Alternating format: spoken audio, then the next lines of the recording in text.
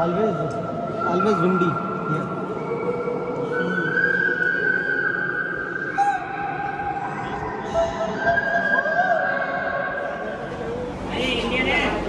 मैं Indian Indian हूँ भाई Guide बंद करेंगे।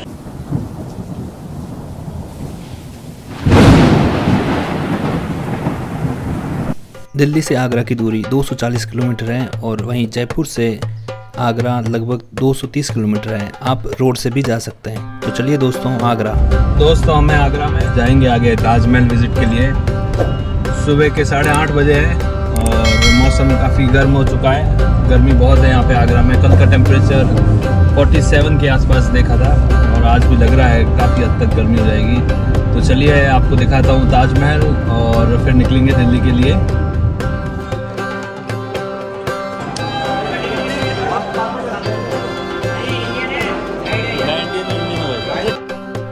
तो मुझे एंट्री गेट पे रोका गया, क्योंकि उनको लगा कि मैं एक विदेशी नागरिक हूँ। क्योंकि दोस्तों, यहाँ पे ताजमहल देखने के लिए विदेशी नागरिक को तेरह सौ रुपये की टिकट लेनी होती है, और वहीं भारतीयों के लिए 250 की टिकट है। और मेरे पास 250 की थी, लेकिन उनको लगा कि मैं विदेशी हूँ इसलिए मुझे यहाँ पे पासपोर्ट और आधार कार्ड दिखाने के बाद ही मुझे अंदर जाने दिया। तो दोस्तों, हम खड़े हैं उस समय के मीना बाज़ार में। ताजमहल के अंदर जाने से पहले हमें यहीं से होके जाना पड़ेगा। इसको फोर गेट गार्डन या फोर्ट कोर्ट एरिया भी कहते हैं। और यहाँ पे चार गेट हैं जो इस गार्डन में आके मिलते हैं। और फिर आप रॉयल गेट से और शाही दरवाजे से जो आप सामने देख रहे हैं, यहीं से अंदर होके ताजमहल को देख सकते हैं। ये गेट रेड स्टोन से बना हुआ है, जो फतेहपुर सिकरी से लाया गया है। वहीं जो आप ताजमहल देखेंगे, वो मकराना के मार्बल से बना हुआ है। दोस्तों, जहाँ हम खड़े हैं, यहाँ से अगर आप ताजमहल देख सक रहे हैं तो आपको लगेगा कि जैसे जैसे हम धीरे धीरे अंदर जाएँगे गेट की तरफ़ तो ताजमहल धीरे धीरे दूर होता नज़र आएगा। इसको आँखों का धोखा भी कहते हैं। तो सामने आप देख रहे हैं ताजमहल और जैसे जैसे हम सामने जाएँगे, ये थोड़ा थोड़ा दूर होता जाएगा हमसे और इसका साइज़ और बड़ा होता जाएगा। ताजमहल की दूरी यहाँ से लगभग 300 मीटर है।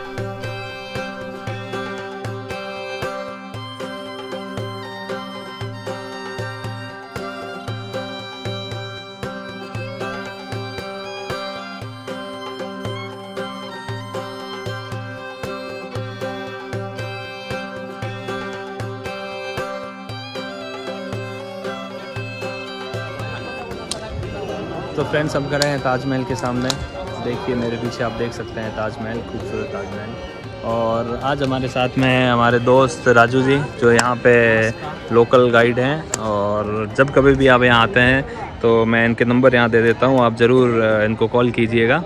तो मिलिए हमारे दोस्त राजू से। नमस्कार राजू जी क्या हाल है? सब बढ़िया बढ़िया। तो बताइए कुछ ताजमहल के बारे में ये दुनिया का सातवां अजूबा है। दुनिया का सातवां से क्यों कहते हैं? इसके अंदर खूबियाँ कैसी हैं? आप पहले सबसे पहले सिर्फ़ ताजमहल को देखो। दूर से आपको लग रही होगी ये पेंटिंग है। हम्म। एक्चुअली ये पेंटिंग नहीं है। पीछे कोई भी इसमें बिल्डिंग नहीं है। इसलिए क्योंकि दुनिया के साथ में जैसे बना हुआ अलग है।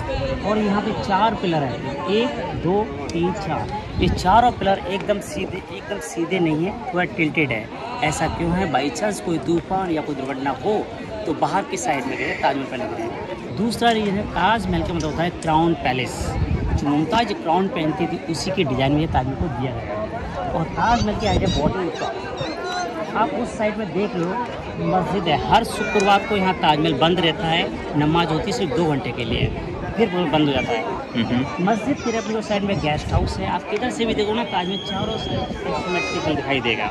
और ताजमहल के अंदर सिक्सटीन गार्डन है 53 फाउंटेन सिक्सटीन थर्टी वन में ताजमहल बनना चालू हुआ था सिक्सटी फिफ्टी बन के तैयार। बाईस साल बीस साल लोगों ने बनाया था। ये आप जो देख रहे हो जो मैन एंट्री चार ताजमहल के अंदर। ये आपको लग रहा है दूसरे पेंटिंग है सारा इनले वर्क है। इसे बोलते हैं नकाशी इसको एक इंच खुदाई करके फीट करते हैं। अब देखिए ताजमहल के अंदर सीट सेंटर लगा ये आप देख रहे हो फाउंटेन चल रहे हैं। ये फाउंटेन देखो अभी भी, भी चल रहे हैं उस ज़माने के फाउंटेन है। उस ज़माने में किस तरह चलते थे? एक बड़ी पानी की टंकी लेते थे उसमें पानी प्रेशर से डालते थे और कुछ पल के लिए चलते थे। अब तो इलेक्ट्रॉनिक चीज़ से चलने लगा है। सामने एक प्लेटफॉर्म है है लेडी डायना चेयर जितनी भी फोटोग्राफी होती हैं वो इसी पॉइंट से होती है। सबसे अच्छी फोटोग्राफी का पॉइंट वही है। अच्छा। लेडी डायना जो. इंग्लैंड की रानी आई थी तब से फोटोग्राफी फ़ेमस हो गई। और दूसरी जितनी भी वीआईपी आती है मोस्टली वो यहाँ से फोटोग्राफी करती है। जैसे ही ताजमहल के पास जाओगे तो पूरा ताजमहल नहीं आएगा तो वहीं तक ही है। आप देखिए इसके पीछे खूबसूरत यमुना नदी है। और ये ताजमहल जो पूरा ताजमहल है फाउंडेशन है। इस फाउंडेशन पूरे पर है, कुआ है, कुएँ है, उसके ऊपर लकड़ी है, लकड़ी के ऊपर मार्बल है, तब ताजमहल का पूरा कंप्लीट बनकर तब है। तो दोस्तों, राजू जी ने अपने को बताया ताजमहल की कहानी, उनका इतिहास। अब चलते हैं ताजमहल के अंदर, देखते हैं अंदर ताजमहल को, खूबसूरती उसकी, और देखेंगे यमुना नदी। ले जाता हूँ आपको ताजमहल के अंदर।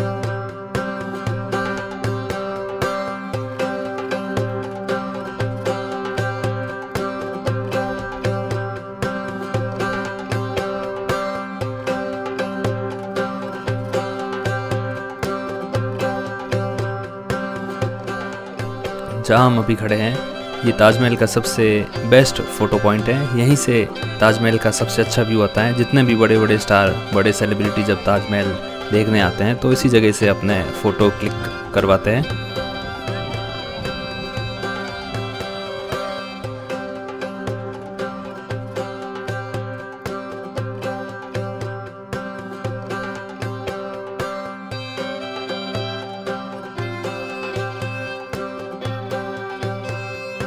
भारतीयों के लिए ताजमहल देखने के लिए दो तरह के टिकट हैं, एक पचास रुपये का और एक दो सौ पचास रुपये का। पचास रुपये के टिकट के साथ आप यहीं तक आ सकते हैं, मकबरों तक आप नहीं जा सकते हैं, जो कि ऊपर है। और हमारे पास दो सौ पचास रुपये का टिकट था, इसलिए हम ऊपर जा सकते हैं शाहजहाँ और मुमताज़ का मकबरा देखने के लिए। तो चलिए फ्रेंड्स, आपको ले चलता हूँ मकबरे दिखाने के लिए।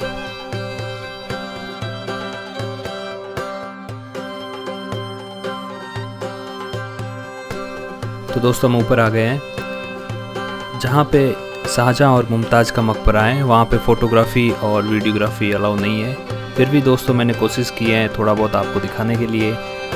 छोटी सी क्लिप ली है, मैंने वीडियो बनाया है मकबरों का। तो चलिए अंदर आपको दिखाता हूँ मुमताज़ और शाहजहाँ का मकबरा।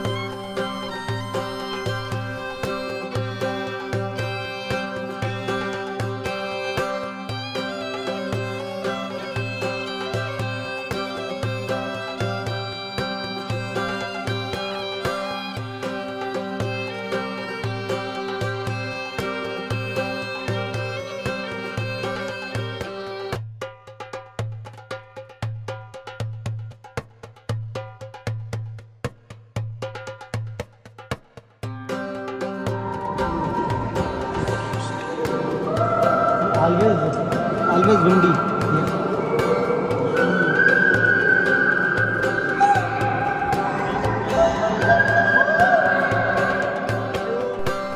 तो आपने देखे शाहजहाँ और मुमताज़ महल का मकबरा।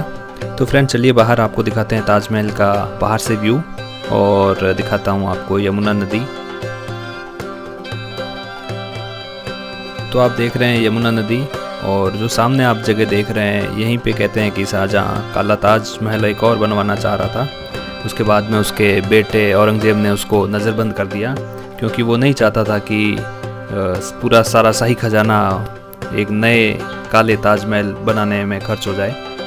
इसलिए उसने अपने पिता शाहजहाँ को नज़रबंद कर दिया, लाल किले के अंदर और वहीं पे उसकी मृत्यु हो गई।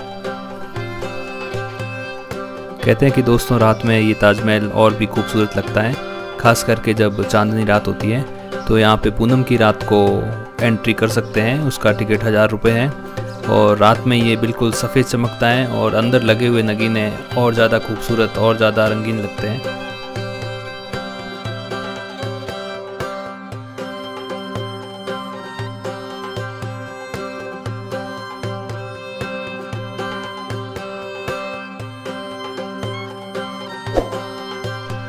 तो दोस्तों, आज के वीडियो में बस इतना ही। कमेंट्स करके ज़रूर बताएँ कैसा लगा आपको ताजमहल ताजमहल की खूबसूरती।